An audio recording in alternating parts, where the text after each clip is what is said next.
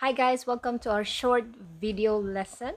In this video, I am going to teach you how to say I don't understand in Bisaya. Okay? I don't understand. Wala ko kasabot. Wala ko kasabot.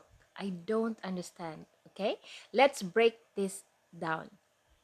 Wala means not or nothing. Ko here is I. Kasabot. Kasabot is understand. Wala ko kasabot. I don't understand. Wala ko kasabot. Wala ko kasabot. Wala ko kasabot. wala ko kasabot, guys. Okay, wala ko kasabot means I don't understand. Okay? Alright, it's your turn. Why don't you try it?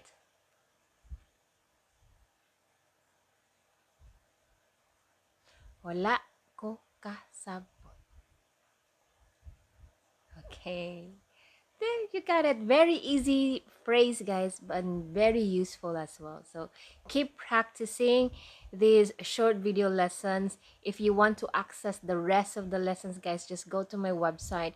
You may need to subscribe to my members access plan in order to see, to watch all these lessons.